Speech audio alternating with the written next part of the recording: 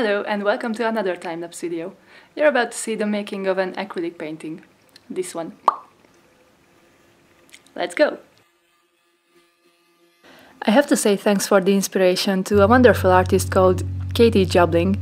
If you like to watch art-related videos on YouTube, then there's a good chance that you already know her, but if you happen to not know her, then please make sure to check her out. I will put a link in my description box below. All of her artwork is just beautiful, but I especially love her seascapes. There is one particular video, I will link it down below as well, so there is this video that features several of her paintings of the sea. I watched that video I don't know how many times and uh, it just made me really really want to paint some waves.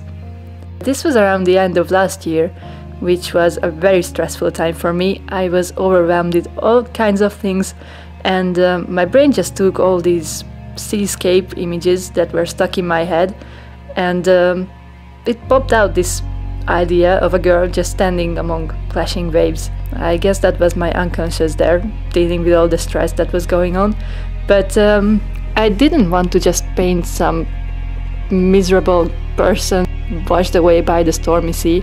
I wanted this character to stand her ground, kind of, against the waves, and I tried to give her this um, defiant and determined look.